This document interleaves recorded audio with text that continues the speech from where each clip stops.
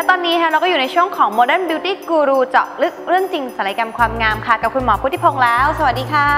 สวัสดีครับคุณชลลี่สวัสดีครับท่านผู้ชม วันนี้นะคะอยากจะมาคุยกับคุณหมอค่ะ เรื่องของ stem cell นี่ ตอนนี้คำนี้เนี่ยกำลังดังมากเลยค่ะในหมู่แบบว่าเขาเรียกว่าวงการความงาม stem cell จริงๆแล้วคืออะไรคะจริงๆคำว่า stem cell เนี่ยถ้าย่อ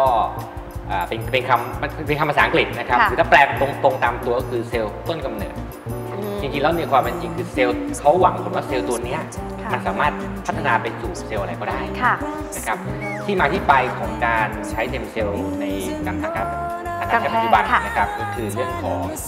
เราหวังผลว่าตัวสเต็มเซลล์เนี้ยนะครับจะเข้าไปซ่อมแซมอวัยวะอืมเนื่องจากมันเปลี่ยนแปลงไปเป็นเซลล์อะไรก็ได้ค่ะนะครับสมมติตับไม่ดีหัวใจไม่ดีค่ะอ่าม้ามไม่ดีไตไม่ดีอะไรไม่ดีก็ตาม ใส่สเต็มเซลล์เข้าไปสเต็มเซลล์ก็จะไปเปลี่ยนเป็นซ่อมแซมอวัยวะเหล่านั้นทั้งหมดทำให้ได้เซลล์หนุ่มใหม่กลับขึ้นมาหัวใจแก่แล้ว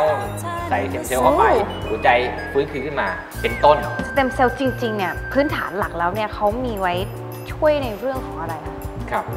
อ่าเดี๋ยวท่านผู้ชมจะเข้าใจผิดคิดว่าสเต็มเซลล์เป็นเหมือนยาวิเศษนะครับว่าค่ะเวลาเราอายุมากขึ้นฉีดแล้วโอ้โหการกลับกลายเป็นหหนุ่นุ่มมสาว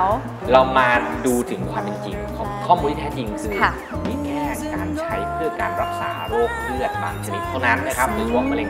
เลือดขาว นี่คือสิ่งที่เขาทำกันอยู่นะครับ และได้รับการรับรองค่ะนะครับก็คือเรียกว่ามารักษาโรคนั่นเอง รักษาโรคอะแล้วทำไมตอนนี้ถึงมีสเต็มเซลล์ในวงการแบบว่าเสริมสวยความงามให้ดูดีขึ้นล่ะคะงงเหมือนกัน การใช้สเต็มเซลล์เอ่อที่ฉีดเข้าร่างกายค่ะทั้งการฉีดเข้าเส้นเลือดหรือ เข้ากล้ามเนื้อก็ตามค่ะนะครับยังไม่เป็นที่รับรองกันใน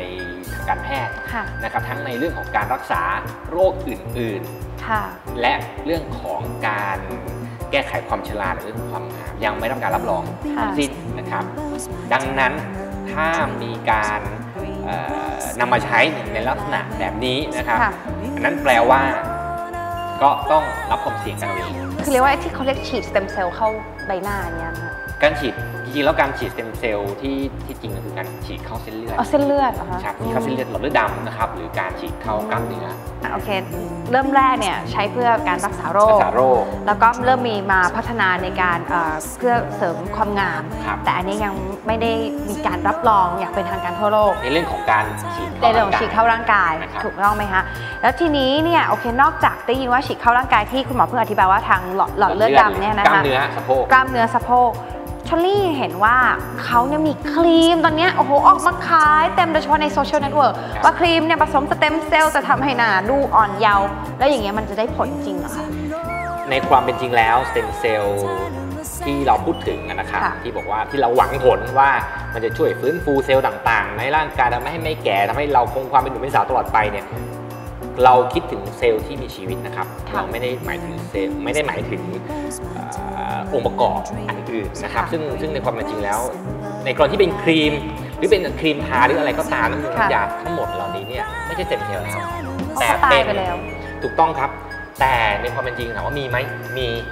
แต่เราไม่ได้เรียกสเต็มเซลล์ครับอ๋อพวกเนี้ยเราเอาองค์ประกอบบางอย่างค่ะมาใช้ เช่น น้ำเลี้ยง เพราะน้ำเลี้ยงสเต็มเซลล์เนี่ยคือน้ำเลี้ยงที่มีคุณค่าทางอาหารค่ะช่วยกระตุ้นให้เซลล์มีการแบ่งตัวเจริญเติบโตนะครับ อันนี้เป็นหนึ่งตัวอย่างนะครับค่ะเอาน้ำเลี้ยงคือไม่มีเซลล์มีชีวิตละเอาเซลล์ออกหมดเลยเหลือแต่น้ำเลี้ยง น้ำเลี้ยงก็ยังเป็นสารอาหารชั้นดีพอมาทาผิวแน่นอนมันก็เหมือนได้เซลล์อาหารผิวหน้าไม่ได้อาหารอันอันนี้ปลอดภัยค่ะ นะครับแต่ถ้าเอามาฉีดอันนี้ ต้องไปพิจารณาพิจารณากักันนอีกทีอ๋อตอนนี้นะคะชลีเริ่มเคลียร์แล้วล่ะค่ะว่าสเต็มเซลล์คืออะไร ความจริงมีมาเพื่อรักษาโรคอะไร แล้วก็จะฉีดเข้าร่างกายอันนี้เดี๋ยวต้องขอกลับไปคิดก่อนนะคะ แต่ตอนนี้อาจจะเลิกใช้เป็นพวกครีมไปก่อนละกันนะคะ สุดท้ายค่ะอยากจะให้คุณหมอเนี่ยฝากถึงคุณผู้ชมทางบ้าน ที่กำลังคิดว่าเนี่ยอยากจะไปฉีดสเต็มเซลล์เข้าร่างกายเนี่ยแหละเพื่อรักษาความอ่อนเยาว์หรือทำให้ดูหนุ่มสาวขึ้นค่ะอ่าอันดับแรกนะครับก็ต้องดูเรื่องของความจำเป็นนะครับว่าตัวเองเนี่ยอายุเท่าไหร่ ถ้าคิดว่าตัวเองรับความเสี่ยงได้ในอนาคตอีก 10 ปี 20 ปีข้างหน้าเกิดอะไรขึ้นกับตัวเองไม่ทราบค่ะนะครับสำหรับ คนที่คิดว่าปัจจุบันเนี่ยเราร่างกายเราแข็งแรงนะครับ เราดูแลสุขภาพอ่าอย่างดีออกกำลังกายสม่ำเสมอทานอาหารถูกต้องการรักษาเอ่อด้วยวิธีอื่นจากภายนอกนะครับ ดังนั้นก็ต้องชั่งน้ำหนักระหว่างความเสี่ยงกับสิ่งที่จะได้ว่าจะคุ้มค่ากันหรือเปล่า วันนี้นะคะคุณผู้ชมน่าจะได้ความรู้นะคะเรื่องราวเกี่ยวกับสเต็มเซลล์มากขึ้นแล้วนะคะสำหรับวันนี้นะคะ Modern Beauty Guru และ Modern Variety ค่ะ ขอบคุณคุณหมอมาก ๆ เลยนะคะยินดีครับ